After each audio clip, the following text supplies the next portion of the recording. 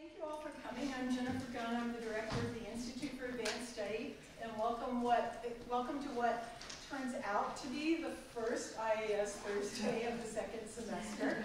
And I'd uh, like to open um, today's event. Sorry, we're trying a new toy here. Um, I'd like to open today's event by just remembering that the land we are on is the homeland of the Dakota people, and the IAS acknowledges we are newcomers to this land and that we respect it in um, honor and respect of the Ojibwe and Dakota nations of Minnesota. Um, I want to remind people who might be interested that um, the IAS is taking applications for the um, Mellon Foundation's Johnny Sawyer Seminar, and those applications are due on February 20th. You can get more information at um, the ias.umn.edu website, and you can find information about all our other programs on there. We have a lot of interesting programming in addition to IAS Thursdays going on this spring, and that information can be found there. Um, next week, IAS Thursday, again, will be in this room, same time, same place, hopefully without the same weather. And um, the, our speaker will be Rick Prelinger, who is a writer, an author, a, a filmmaker, a writer, an author, hmm, a writer, a filmmaker, and, uh, and an educator. And he, um, I don't know if any of you have ever used his collection of videos and films for teaching. Um, they've since been acquired by the Library of Congress, and he will be talking next week on uh, the romance of obsolescence and the promise of hybridity. Um, okay, so a couple of announcements about today's talk. First, please admire the gorgeous artwork, which is by a local artist, Ricardo Levins Morales, and the quote that is, uh, that is the foundation of the artwork is from Peter Rachleff, who's the director of the Eastside Freedom Library and a labor historian. Um, we are going to shorten today's program because we know there are people who will probably want to rush home uh, and it's going to be a slow process to get there. So we're going to stop at 4.30. This will probably have the effect of cutting off um, important discussion. If people are interested, we're happy to reschedule another discussion. And there's a sign up so this is, uh, we also have, uh, kind of what we call it? Just suggested further reading. Yeah. We would like to keep this conversation going, so you can grab one of these on your way out, they're also out in the hallway. Great, thank you. Um, and, uh, and I want to also thank our co-sponsors for today's event, this, um, the Interdisciplinary Center for the Study of Global Change, the Race, Indigeneity, Gender, and Sexuality Studies Initiative, uh, and the departments of anthropology, English, history, philosophy, and psychology. So thank you all for coming.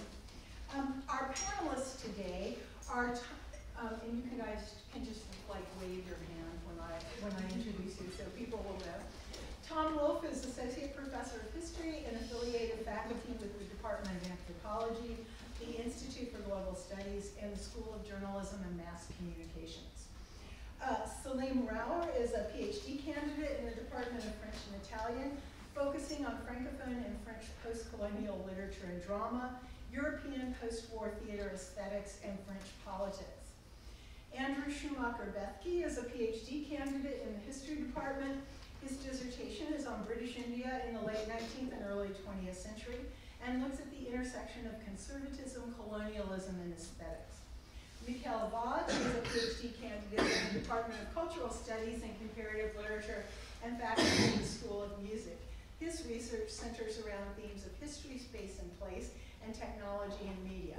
And last but not least, Patrick Wilz is a PhD candidate in the History Department who studies 20th century transnational media history in the US and Britain. And his dissertation grapples with the relationship between print journalism and new technology and explores the social, cultural, and political dimensions of computerized na computerizing national newspapers in New York and London from the 1970s to the 1990s. So thank you all for coming, and Tom, I'll turn it over to you. Thank you very much, Ashley. Um, greetings, everyone. Maybe I think the goal right today is that we want uh, you to walk home through the snow thinking about something.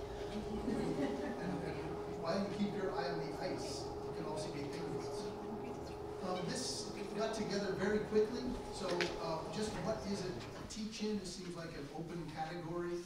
And so, um, I think we, maybe a year ago when this idea came up, it was maybe gonna be a little different than what it's turned out to be. And certainly we didn't imagine the snow that, uh, we have now. But I think the, the idea is that, I- and I think what we all share, right, is that there's some interesting things happening in the world that's good to think about. And it, one has to think about both the events and the rhetorics around the events. Uh, I would admit, of course, that in the case of America's own public life, right, there's, what's been so disturbing lately is the, the tone, the virulence, the, the low quality of speech and assertion that we hear every day, the kind of callousness of feeling that we hear in, the, in, in our, uh, from our, some of our leaders um, the demeaning of others' dignities, the assertion of vast, uninformed, and callous judgments about entire groups of people, um, this ignorance and insen- insensitivity is also expressed in policies, and we're in a way watching at this moment, you know, our gov, the American government with certain policies. But of course, one of the observations that we were making is that this is not just about America, that this, there's a worldwide scale that there's, that it's important to think about. So whenever I feel this kind of anger and confusion, I always remind myself that the first thing to do, the first thing to think about, uh, first thing to remember is that my sense of the world comes from my interactions with the media. And what do I mean? The lar, you, I think you all know, right, the large institutions that beam us both curated and uncurated information about what is supposedly happening in the world. And we should remember, right, that that our media channels do not give us a rounded, accurate, dispassionate image of reality. Uh, it doesn't give us a, a clear picture of reality of our own society, and it certainly doesn't give it a clear picture of other societies. When we interact with the media, we need to keep in mind always the incompleteness of its productions, right, its partialities, and the truth that any one picture is a fragment of a much larger picture.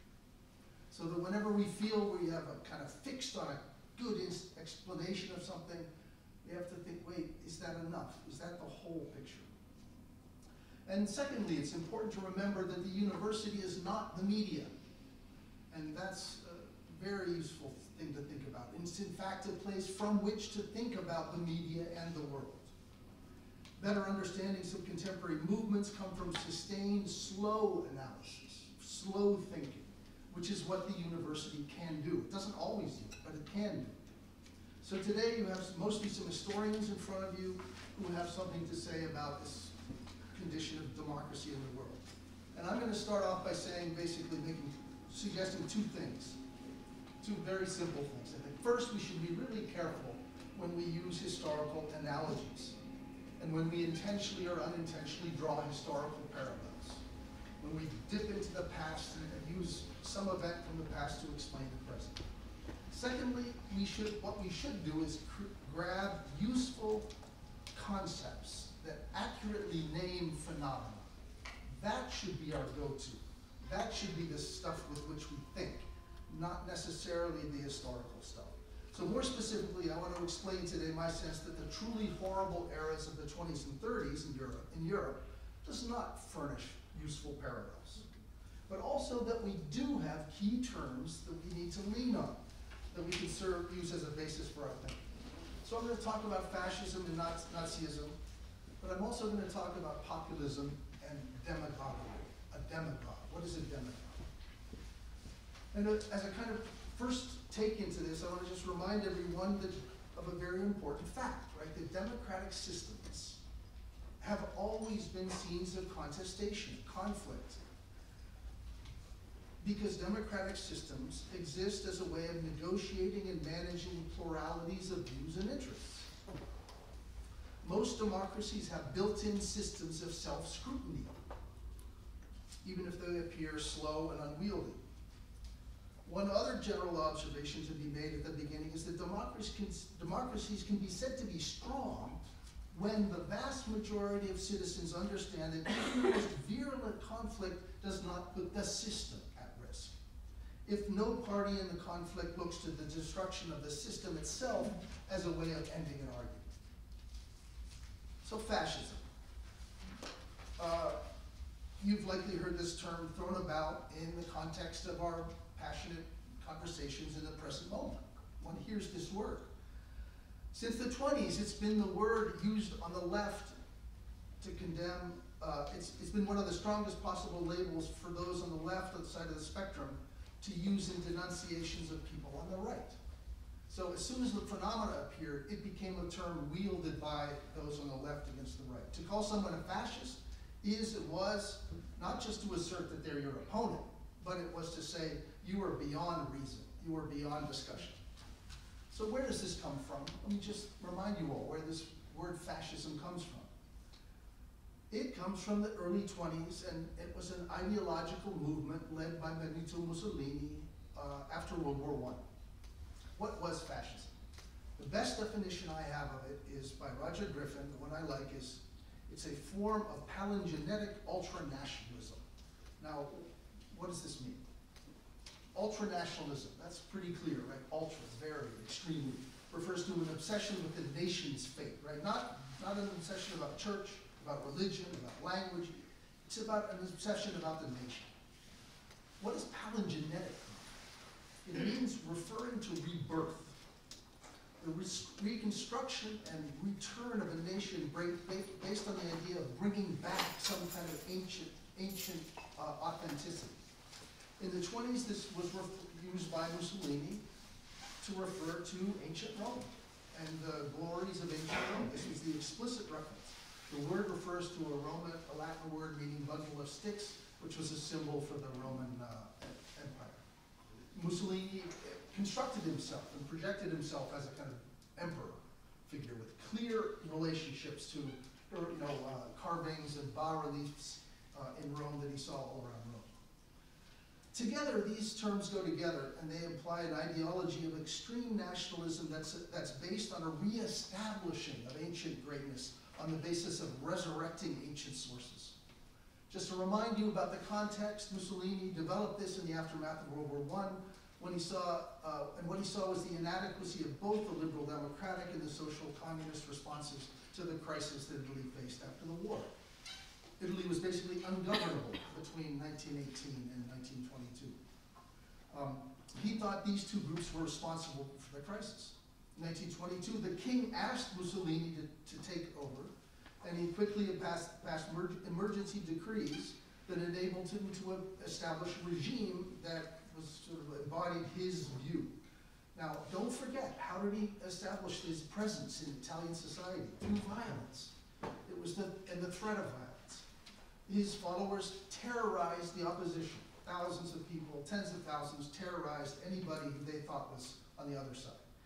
They stayed in power via real and, and threatened assassinations. Many people were assassinated, politicians, governors, judges. Everyday intimidations in the streets, uh, bombings, street battles, fights, constantly. Opposition newspapers were burned, trashed, um, and, and uh, their uh, property was confiscated. The fascist government review, removed all bureaucrats and officials who had anything critical to, to say about Mussolini. This was all in the name of putting an end to chaos. So chaos was caused and then put an end to. So you know that this movement was very appealing to a short, well, medium height, I guess, Austrian corporal um, in, after World War II who wanted to make his own party in Munich in the early 20s. This was Hitler, of course, and this was the National Socialist Party. Um, Mussolini was Hitler's uh, uh, hero. Uh, just like Mussolini's black shirts, the Nazi Party consisted of, consisted of tens of thousands of ex-soldiers who, who were just as violent as the black shirts in Italy. They used this violence to intimidate people, to, to, to start con conflicts, and then to sort of end them with violence. We should remember that um, Germany and Italy were both very new countries. Democracy was a sort of odd thing. It, in the democracy, in the form that we would think of it today, it only went back to the Weimar Republic in 1919. So German, Germany, democracy was new. Um, Hitler's party was like Mussolini's except for two things, very important things. The first was, at its core, was anger and resentment at the fact of Germany's defeat. Remember, Italy is so strange because Italy won the First World War. They were on the winning side, and yet society sort of unraveled. Germany lost the First World War, and that defeat generated immense anger and, and, and frustration and revenge. And Hitler explained this by saying, well, there must have been a reason we lost that war. And the, because it wasn't military. We didn't lose it on the battlefield. We lost it in the politics. The politics, that's where we lost it. And who lost it? The Jewish politicians and, and intellectuals. And that's the second difference. Um, the Nazis had, a, the Nazis, unlike the Italians, couldn't claim a kind of source of ancient greatness. Like there was no great ancient, you know, Aryan emperor that, that um, you know, created this vast literature and philosophy that we know of today. These were um, Teutonic tribes out in the forests. Um, they couldn't look back to this glorious era, but they could look back and imagine a history of a warlike, honorable, heroic people they imagined as the Aryan people. And there was enough evidence for this that they thought, okay, I mean, we can kind of work with this.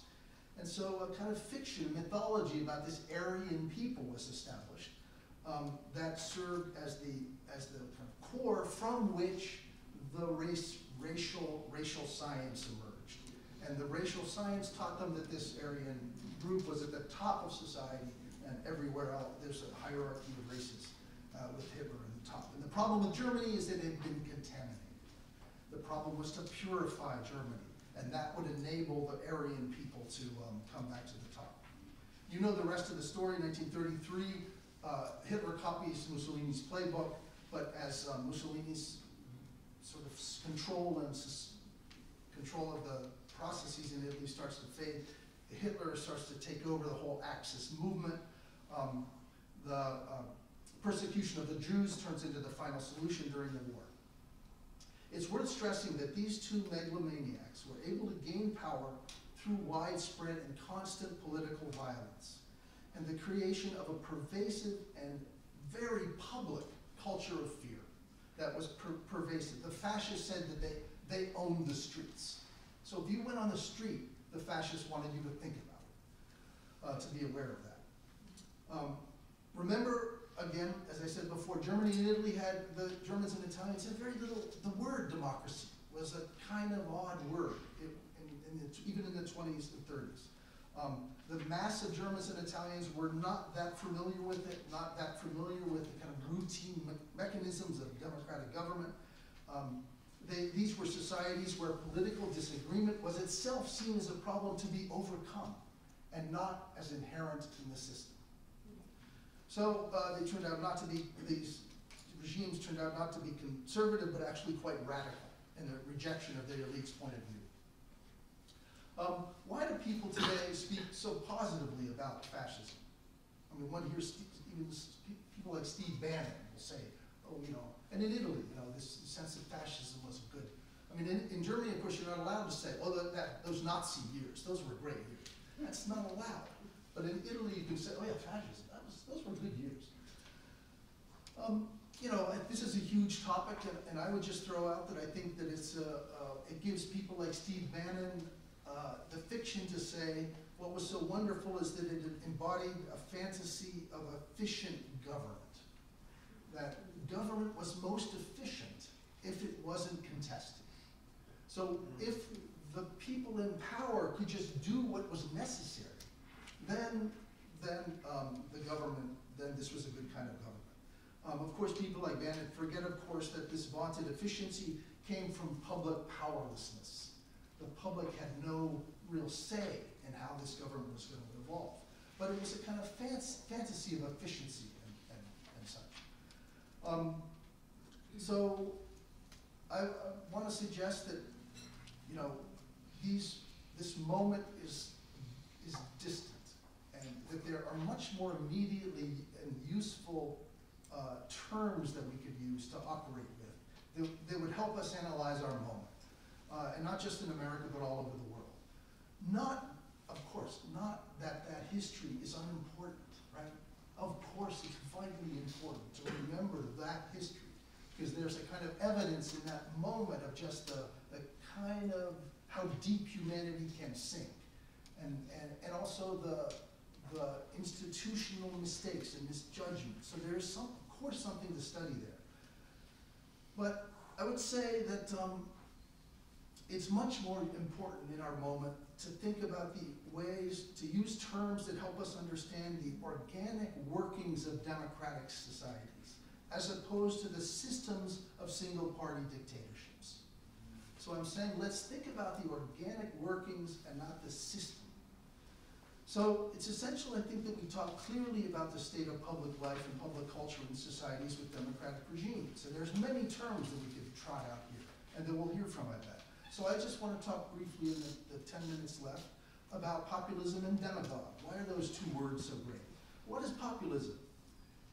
Well, I mean, we have a sense of what it means, right? It's pretty, we, we live with this term to some degree, right? This is a term that refers to political movements that came, that come, that claim to speak on behalf of a certain group of people, to express their will and to pursue their interests. Populist movements usually come from people outside the traditionally or excluded, uh, uh, from, from people traditionally outside of or excluded from the normal space of politics. They're often, populist movements are often about the poor, which can be a lot of people in some countries. Uh, they often assert the power of numbers against the smallness of elites. Populist movement often crystallizes around small numbers of issues that then fuel energy and activism, but they break apart when the, when the problem is perceived to have gone away or to, or to have been solved in some way or addressed. Populist movements are often inward looking. They're sort of forced inward looking, and they're plagued by questions of membership and leadership. The danger for them, from such a movement, is that people can join the group, the more people that join, the more diffuse the aims can be. Some populist movements have strict criteria for membership, as in small ranchers and uh, small farmers and ranchers on the plains of the Midwest, while other definitions are vaguer and more elastic, like President Nixon's silent majority. Political movements, uh, populist movements appeal to common sense. And they're often distrustful of experts and expertise. There's no single ideological content to populism. It can um, be left or right. Uh, but the power comes in this ability uh, to have numbers behind it. So what should we keep an eye on? What should we ask? Well, we should always ask, who constitutes this people? Who constitutes this populist uh, collectivity? How does the group define who's in and out? How porous are the members' boundaries, is the movement's boundaries?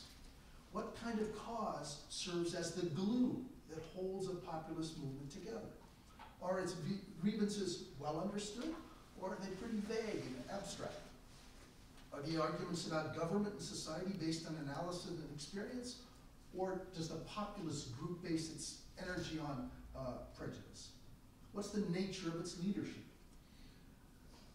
And certainly, so given this account, um, it should not be, we should remember that populism and democracy have always been sort of co-constituting. It's not like there, we've ever seen a kind of pure, the populist movements arise in democracies, and in a sense, democracies are, are petri dishes where this, this uh, activity happens. And we should not be surprised, right? Because the word demos means people, and populus in Latin means people. And so this is a, both somehow about the people, a self-consciousness about people acting in the, in the political world. Um, the difference is, of course, that democracy, the demos of democracy, refers usually to an idea of citizenship, that you belong because of citizenship. Whereas populists, the people of populism, could belong for any set of attributes. What about the word demagogue? Well, in, in, in Greek it has a kind of basic meaning, which is just leader of the people. But even back then, the Greek Democrats in like fifth century Athens or whatever were quite aware of the difference between the people as the good people like us, as opposed to the mob. And so the term was that demagogue came to mean then leader of mobs.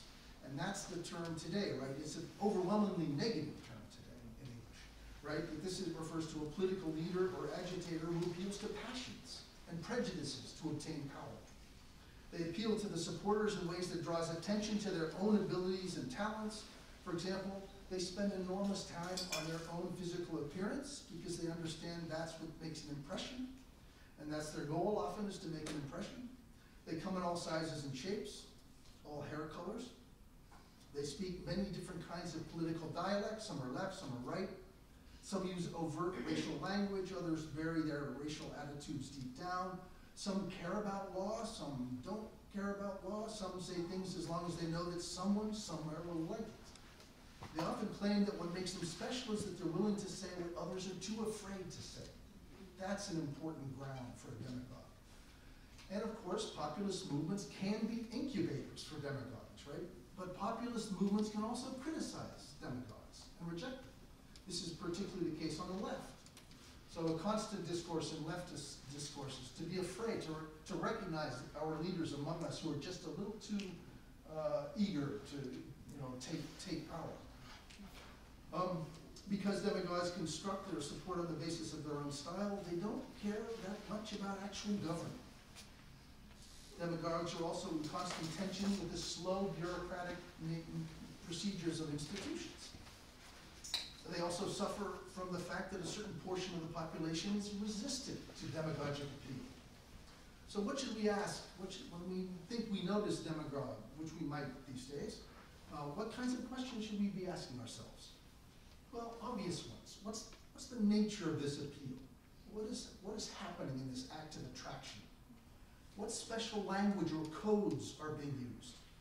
How does the demagogue interact with the system's institutions, if at all? What are the institutions that stand behind the support and support the demagogue? And under what circumstances might that relationship weaken? What are the institutions that stand inherently opposed to the demagogue? What issues are out there that have the power to reveal the weakness of demagogues? At what point does the appeal of the demagogue begin to atrophy?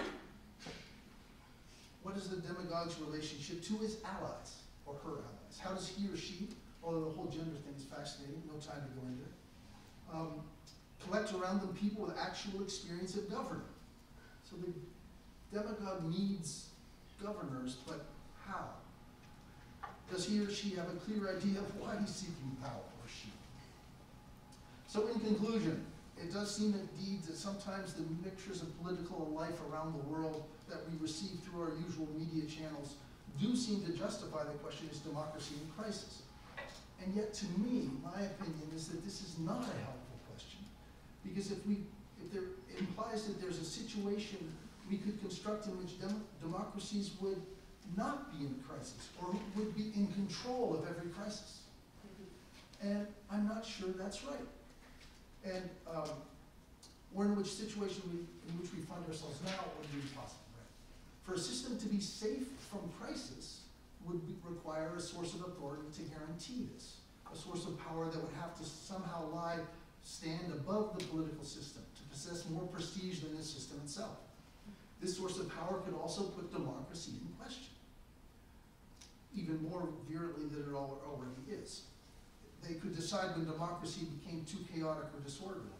What we have to do is keep close watch on the populist option of the day and cast unforgiving light on dem demagoguery. Um, this means realizing above all the specific ways that the idea of democracy is realized in any given place, having to do with how long it's existed, what its history is, because China is not Russia, not Brazil, not Italy, which is India, which is not Britain. So that's the level at which I think it's so productive to sort of analyze. So, turn it over to these guys. These are experts. We're going to go in this order? Sure. the nation of Denmark. Um, yeah, thank you for having me. Um, again, my name is Mikkel, and I I am Danish. I come from Denmark, and like I guess that's uh, why I've been asked to say a little bit about about these things in, in, that context. I can also speak a little bit to some of the other Scandinavian countries if, uh, if people want to uh, know more about that. Um, and um, I have a couple of short answers for you know democracy in crisis, racism, um, fascism. Um, is there a significant movement of fascism uh, and we might add demagoguery, uh, I guess, uh, to it in, in Denmark and the, the Nordic countries, I want to say no. There is you know, a rising but still fringe-like fascist grouping in, in, in countries like Denmark, but by and large we don't see a lot of actual fascism out in the streets. Um, is there significant racism, discrimination, and we could add populism maybe to that? Um, in Denmark and the Nordic countries, I, I want to suggest the answer is yes, very much. Um, and then um, a little analysis. Um, and this maybe also will resonate with um, the a lot of the press coverage that my uh, my nation has received recently in, in America. There's lots of talks of the wonderful social democracy that we have in uh, in the country, uh, which I in many ways think we, we should be proud of. Uh, and this is also the thing uh, around which these questions uh, revolve. the question of the welfare state um, which is imagined as being particularly Danish and consisting of particularly Danish values. Um, so everything, um, as, as, as, Tom also points out, uh, is uh, a question of who is in and out and who gets to benefit from this welfare state. Uh, foreigners are branded as burdens or attackers of this welfare state, and uh, we must understand the Danish values that are particular to something like a welfare state. Um, this also then draws attention away, uh, at least this is my analysis, from the vast neoliberal uh, erosion of the actual welfare state. And we see this in a country like Denmark, also in the unholy alliance between the far-right anti-immigrant parties and the more mainstream right parties. Basically what you see is a little um, tit for tat where the uh, mainstream governing right-wing parties, they get to get their uh, neoliberal reforms through parliament, and in exchange, they pass a very hard anti-immigration uh, law so that the uh, uh, far right wing, which does claim to be defenders of the welfare state, but in actual fact will uh, vote for vast um, erosions of the welfare state. And then just a few examples. Um, you may have heard about the uh, small island that uh, the Danish government has decided to place a group of rejected asylum seekers on. The uh, argument is that um, we want to make it as horrible for these people so that they understand by their living conditions that they should go home. So the parallel is basically make it worse than Syria because then maybe they'll go back to Syria. Um, do we see restrictions in uh, access to these welfare goods. Again, um, you know, these are people attacking our welfare, so we must restrict it. Um, it also, by the way, ends up uh, hitting people like me, expat foreigners who live abroad. Uh, quickly, we're cut off from uh, these kind of welfare goods, and uh, if I return home, I think it'll take me up to a decade to regain all those welfare goods. Um, of course, we see it in anti-Muslim laws, uh, of course, you know, veiled under more liberal rhetoric, but we have now a law against headscarf, basically. We also have now an, an official citizenship ceremony which requires that you shake hands with a government official. Uh, of course, very much targeted against uh, Muslim women, and apparently, you know, it's very symbolic politics. I think someone did a statistic, and there are there is a guess that it's like two people a year or something like that that actually would have an issue with this. But yeah, we have this kind of uh, law. And then uh, cases like widespread bafflement and critique and, and, derision and ridicule of cases of um, uh, whiteness and privilege that are not really imagined as such in Denmark. So um, one of my main fields of study is, is music, and there was a case recently of someone pointing out that a good Danish song that we have contains the lyrics, the Danish song is a young blonde maiden. And someone said, well, you know, not every Dane is a young blonde maiden. Mm-hmm. Um, and this became, like, the prime minister got involved, and it was the subject of widespread ridicule um, in the Danish media. So we see this on so many different levels, from very hard politics to the softer politics. Um, and could we slide into demagoguery? like in Hungary or something like that with Orban, maybe down the line. But I actually would suggest that part of the problem is that we're not actually there yet. Um, and I'll let my remarks there. It's gonna be some whiplash. Um, um, so there's sort of a couple of main threads that I wanted to talk about, um, sort of involved in the ways that colonialism especially kind of complicates our understanding, right, of this idea of democracy in crisis. Um, and so one of the first things I wanted to, I think, somebody really, I was really, really wanted me to talk about Modi. I'm not an expert in any way on right, contemporary Indian politics. I'm not going to pretend to be. That would be ridiculous. Um, but that is sort of related to one of the threads that I want to talk about, which is um, right. I think that there is still this interesting narrative. Interesting, interesting. It's not interesting. It's terrible. Right, terrible narrative of right, sort of third world nationalism or populism. Um, right, where these sort of figures are cast together, right, in a way that is incoherent and absurd, right? That like Chavez and Modi and right, Bolsonaro were mentioned in the same breath as though they're not wildly opposed political figures. Um, right, and what of course draws them together is that they are from formerly colonized countries. Um, what's interesting, I think, right, is what's left out are, right, it's, I think there's this assumption in the Western media, right, even to some degree in Western academia, right, that they are meaningfully connected, right, because of their status, right, as these sort of non-Western subjects, right? There's something about the non-Western, right, that trends towards this kind of populism, right, or sort of absurd anti-liberal feeling. Um, and what's left out, right, are the ways that colonialism has really complicated, right, the democratic narrative, right, and the populist narrative.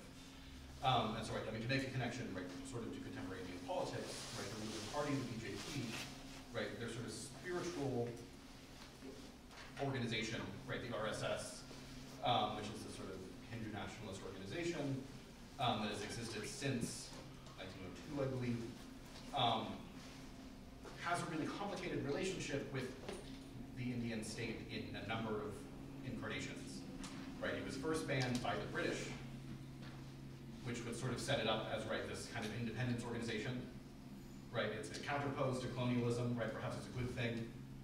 Then, of course, right, I mean, the next major ban was, right, an RSS member was responsible for the assassination of Gandhi, which doesn't really fly with this question of, right, the democratic anti-colonial narrative, how do we fit that in? Right, and now, of course, right, I mean, they are directly tied to the ruling party. Um, right, I mean, so what I'm trying to say is, right, I mean, this clear line, right, I mean, this line of this group, right, this historical narrative, doesn't fit with what we would think that it perhaps would, right, if we were trying to draw this kind of coherent, rational narrative of, right, democracy and decolonization, right, and good and bad, right, in a very sort of liberal sense, right, good politics, bad politics. It doesn't really work because, right, the politics of colonialism don't actually map onto, right, in a way that we would maybe like it to, um, right, the politics of liberalism. Right, there isn't sort of this idea, right, that all opposition to colonialism must then also be right, good liberal politics for all the good people, right, that these groups aren't coherent, um, right, or are coherent rather, right, I mean, they're not, or they are coherent and it just doesn't map onto the expectations of what we'd like them to. Um, I think this is also sort of related, um, in some ways, I was thinking about this, hopefully we're all uncomfortably thinking about this, right, that this panel on democracy and crisis of these experts of global democracy, right, I mean, is five remarkably similar looking people. Um, um, and, right, which I mean is perhaps all the more questionable because I don't actually think it was planned. It never is, right? Um, and, right, just somehow. Um, and I think, I mean, that also, right, is this interesting, right? I mean, I think it comes up with, when we think about populism and demagoguery, right, and all these things, that requires this kind of touchstone. Um, right, that in the colonial, right, it's all the more complicated in the colonial context, right, to a colonial historian or to anyone who's not a white European or American, right, it's abundantly clear that this touchstone is really complicated because I think what we tend to do is not really unpack the concept of democracy, right, that it's not rule by the people, right, we love to tease out the Greek meaning of this as though it's not an ideology, right, and it is an ideology, right, it's a very clear ideology, and again, right, to go with this sort of complicated colonial lineage, right, of anti-colonial but also anti-liberal sort of feeling. You know, it's also important to keep in mind, right, these touchstones have often obscured what they have done that is damaging. Right, and so we talk about, right, I mean, we can talk about, you know, right, Italy and, and Germany were new democracies. But the question, of course, is what democracy hasn't actually done terrible things? Right, I mean, the mother of all parliaments is responsible for some of the most atrocious, right, I mean, you know, killing arguably more people than the Nazis, right, the British, if you consider, as one maybe should, right, various Indian famines as at least partially their responsibility. Um, right, and I think this raises the question, right, I mean, one of the things that we have to consider, right, if this system of democracy, right, if this ideology, this liberal sort of order, is what's in crisis, this is not to say, right, that hard right demagoguery, right, is necessarily a better option. It is to say that what we should take from history, right, in addition to the usual questions, right, of asking these figures who are popping up, is also, right, meaningfully interrogating why. Right, and one of those questions, I think, right, has to involve looking outside of sort of the traditional comfort zones. Right, because that also gives us insight into the, right, into the interior. Right, I mean, again, to go back to the British, they got to their position in the late 19th century by exploiting three quarters of the world. But of course, they got to the position of being able to do that by exploiting their own working class before that. Um, right, and this came from, again, right, this kind of the beginnings of this liberal system. And so, when we ask this question of crisis, right, I think the point that I would make as a colonial historian is we really, really have to consider this crisis. What is the crisis is perhaps us witnessing what is always been wrong, right, and having a chance to meaningfully look at that and interrogate that. So we'll leave that there, and then we'll learn about it. Yeah, it's a great setup because I'm gonna, I'm gonna talk about England, and I think that if you're talking about a crisis in democracy, now what people really want to talk about is Brexit, but because Brexit is really still happening, we don't, the, the exit hasn't happened, we don't know how it's going to look. That it, it- it's kind of ridiculous to really talk about Brexit as any one particular thing, but we could talk about it, um, and this is a great setup from Andrew, as a kind of continuity um, when we think about Britain and the topic um, of immigration, which has been the kind of coalescing factor, or at least the topic that most people think about when they think about Brexit. The, most of the discussions now and debates within England about Brexit have to do with immigration. Um, and they're tied up with questions of xenophobia, nativism, race, nationalism. And there was a striking continuity between what's happening today and, and kind of the history of, of Britain and immigration throughout the 20th century. And it kind of makes sense um, to, to, to think about that continuity when, I guess, trying to understand what's happening here. Um, specifically between the relationship between um, politics and communication and the, and the media. Um, when Brexit happened in 2016, it was it seemed kind of natural for people to see it as a moment of real rupture and to think of it in terms of fascism. The Archbishop of Can- Canterbury, I think in 2017, responded to it by saying that this had been a kind of a moment where Britain um, embraced kind of a right-wing, almost fascistic kind of politics, and um, and that would make sense. I mean, on the day people remember, I mean, on the day of Brexit, a Labour MP member was killed by somebody who was, I, I think, a bona fide Nazi, um, and also a follower of people of, of somebody called Anders Breivik.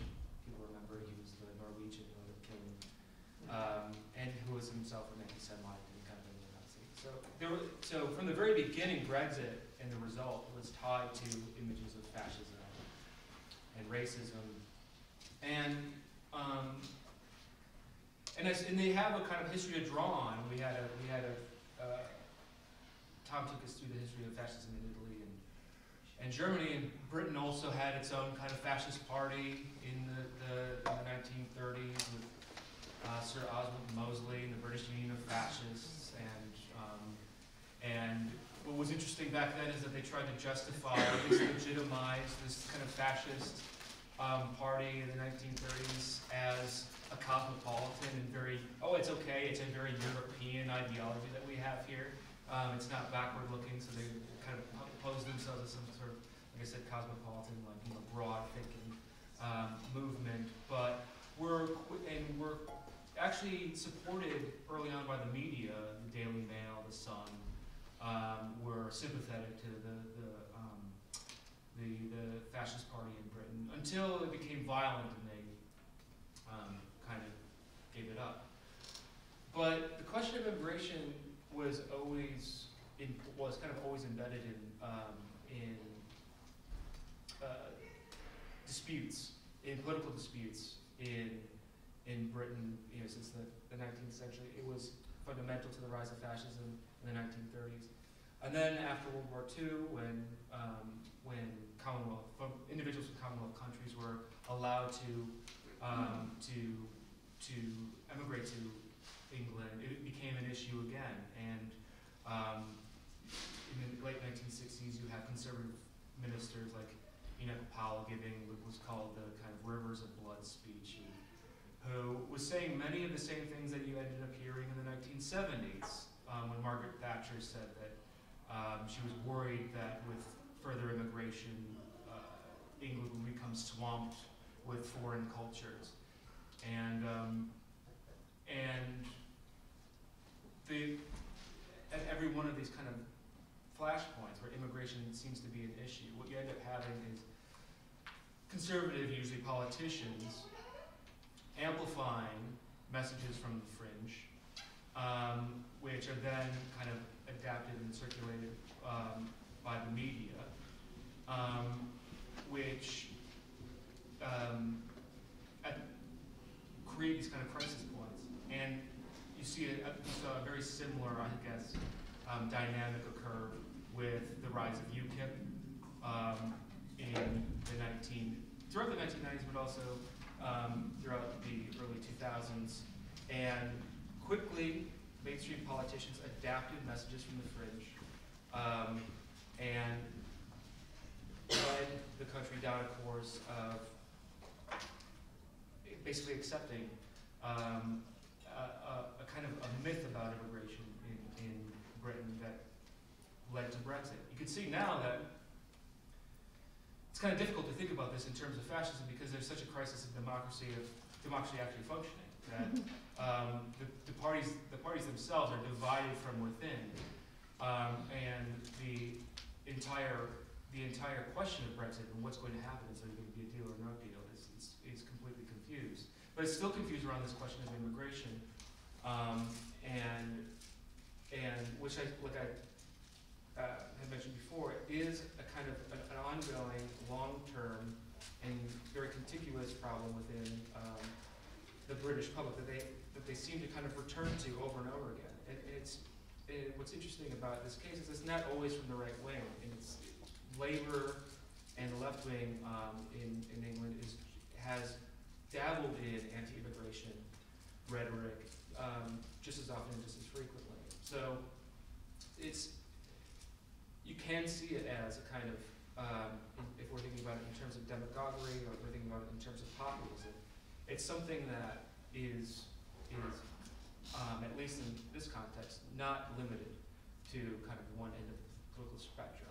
It's a it's a dynamic that um, is kind of across the spectrum of, of British politics, um, and why that's uh, so important is that we it's really kind of unclear where that's going to head. And it's it's unclear where that's going to take uh, um, either party um, into the future. Um, but I think I'm kind of going over here, so I'm going to pass off to you. We can talk more about Brexit, I think. Yeah, that's a very interesting uh, topic because I think this is exactly so. I'm, going to talk about the case of France. Uh, if you don't mind, I'm going to relate on a few notes I've been taking um, because I think that what France is experiencing right now is uh, also connected to uh, uh, the European question uh, in terms of policy and economy. And I think that the democracy crisis, um, so we're confronted with right now, not only in Europe but certainly also in, in the United States, has something to do also with uh, uh, maybe the idea that neoliberalism is uh, uh, inseparable as an ideology, as a conception of exchanging values, of producing values, uh, with uh, the idea of democracy itself. Uh, so there is uh, something very interesting I, I wanted to share with you, um, which is this uh, yellow vest movement. And sure, uh, Emmanuel Macron appears as, uh, has a very good image uh, in, uh, in uh, at least in English-speaking countries. and uh, but so there is a very different reality, and uh, and, and I would like maybe to focus on. Uh, uh, I'm going to be, I would say, uh, we'll go down on the ground and, and, and take very factual elements uh, that are, uh, in my opinion, interesting and that might lead to discussion uh, after that. So the, the few elements uh, I wanted to expose briefly are related to the, this state of disruption that uh, France is uh, experiencing since the last 13 weeks with uh, the Yellow Vest movement. And this is something unprecedented in the, in, in, the recent history of France. Uh, the last time we have been confronted to that, uh, that was in May uh, uh, 1968 uh, with the riots and the social movement of that time, uh, something that led to a referendum that has been proposed by the uh, former French president, uh, the General de Gaulle, uh, and um, a refusal uh, from the French population of the constitutional reforms that the French president at that time wanted. So uh, this led to his resignation in uh, April uh, 1969. Um, so there is a very important aspect that was um, uh, raised uh, by uh, Tambo uh, before. This is the idea that uh, um, the best way of governing is not to be contested. And this is what happens with, uh, uh, with Emmanuel Macron right now. Uh, this contestation has deeper roots in the French recent history and imaginary, um, and found a ground in a demand for more uh, structural social justice and a severe reassessment of neoliberal values that have fundamentally prevailed in the country since 1983. Uh, that means with the so-called uh, tournant de la rigueur, the, the austerity twist, uh, that has been taken by François Mitterrand, who was a, um, socialist president, and who has been uh, fundamentally uh, influenced by the neoconservative revolution that was steered by uh, Ronald Reagan in the United States and uh, Margaret Thatcher in, in the UK. Uh, so maybe to uh, try to identify how the will to impose a certain series of neoliberal values might lead within the democratic frame to authoritarian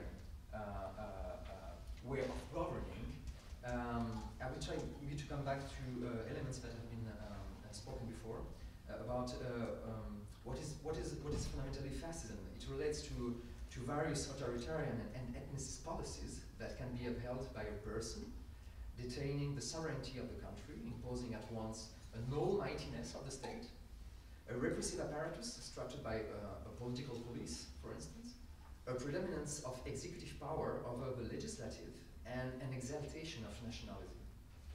So if we look at uh, the definition of democracy, uh, as in Greek, uh, demos and kratos, the the people rule, this system implies that the supreme power is determined by the people and exercised by them.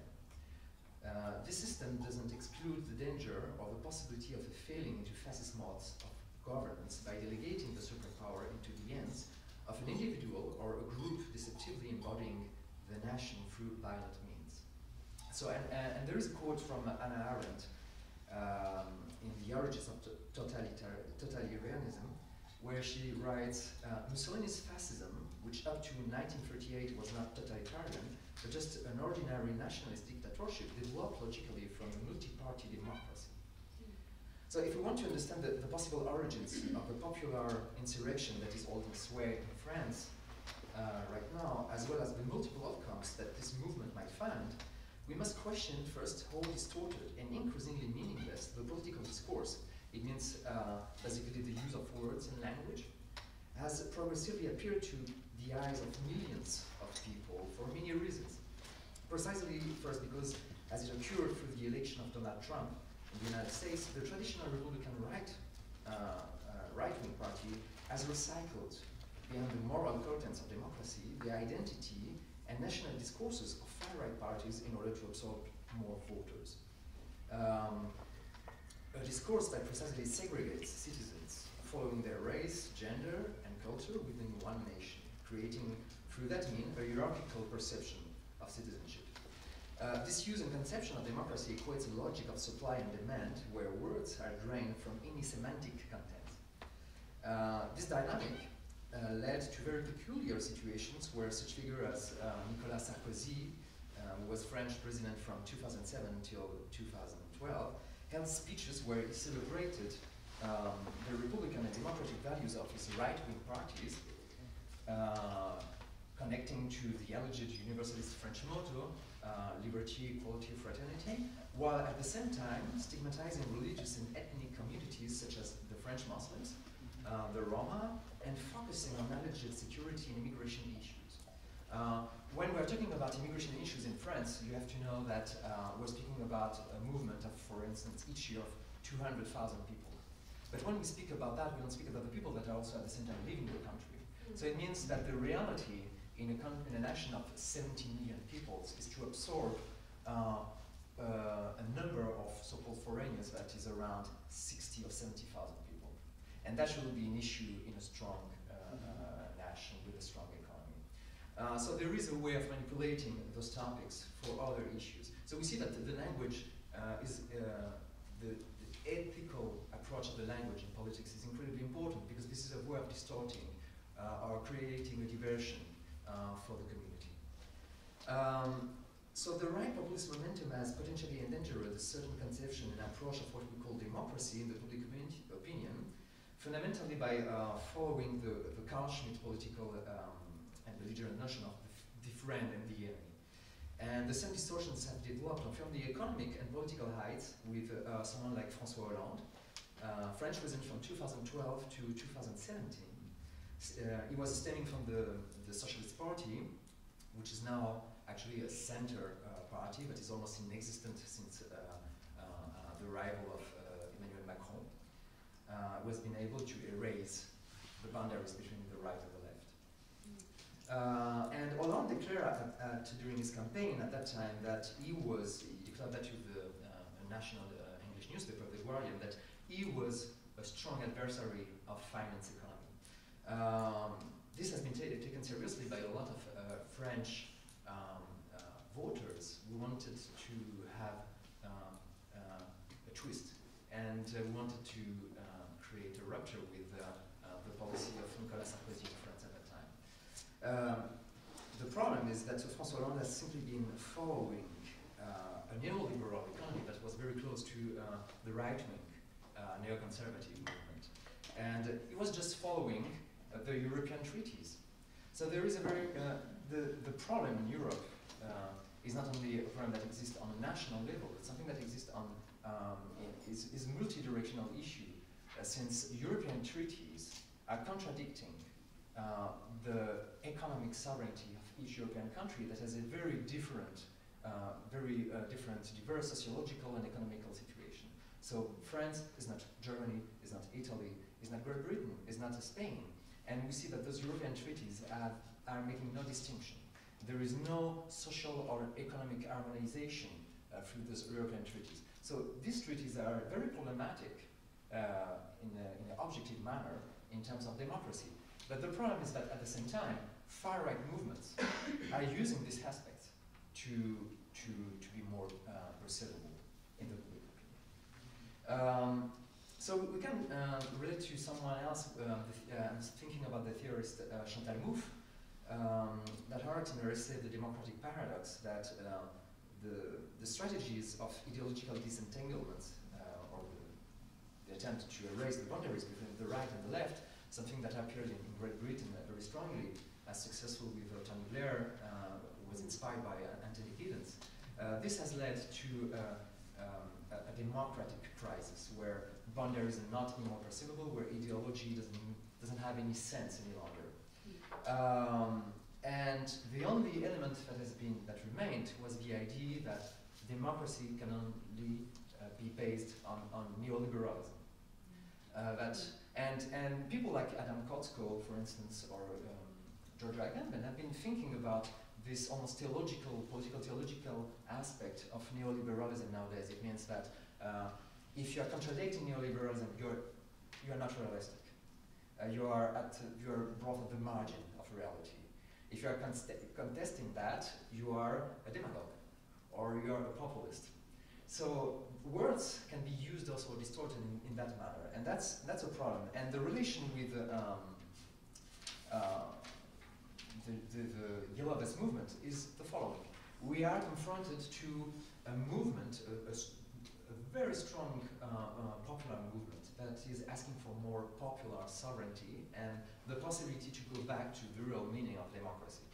But the power, the actual government, has been trying to discredit uh, this movement by calling them anti-Semitic, uh, homophobic, uh, uh, lawbreakers, and this popular movement that is putting in question the actual uh, government um, is confronted to something very specific. The actual democratic government that has been democrati- democratically elected is trying to impose bill draft uh, related to uh, the right to demonstrate. The right to demonstrate in France is constitutional.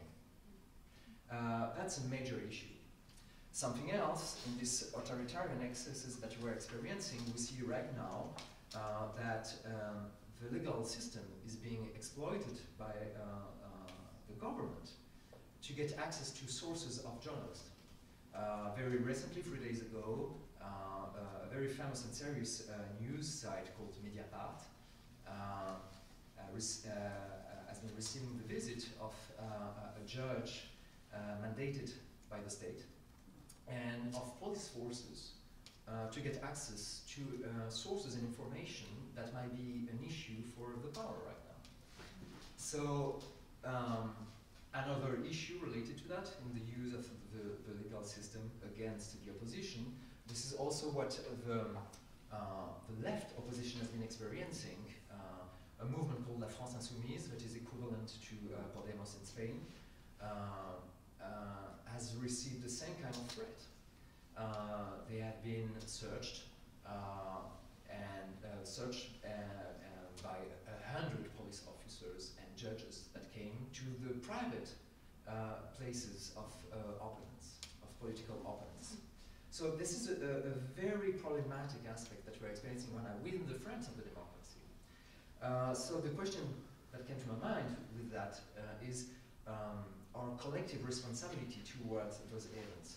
It means, uh, uh, are we in a democracy only based on the fact that we're able to vote? Uh, th- I think this is uh, the main question uh, that appears to me. Why? And I'm going to end with, uh, with that. Um, Emmanuel Macron has been elected not based on a massive desire from the French nation. He has been elected because there was a far-right proto-fascist threat in, embodied by uh, Marine Le Pen and, and her movement. So, uh, but the use that Emmanuel Macron has been doing of, of uh, the democratic frames at his disposal and of the Fifth Republic constitution has led to authoritarian maneuvers from his side. And we see, you know, there is this very famous uh, uh, quote uh, that, that comes from one of his diaries from Bertolt Brecht, where he says that sometimes authoritarian movements or fascism comes through the democracy. And this was certainly true uh, in, in Germany. So I'm not trying to make equalities between Macron, fascism, and Nazism, because they are very different aspects. But authoritarian excesses and uh, uh, are very possible in democracy and might open the door to other realities uh,